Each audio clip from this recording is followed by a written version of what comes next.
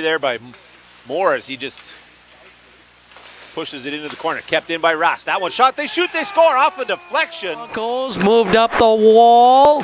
Kaplowitz had got it up ahead. of 90.3% as through his first 13 games. As for the North Stars, who just put Broncos who control.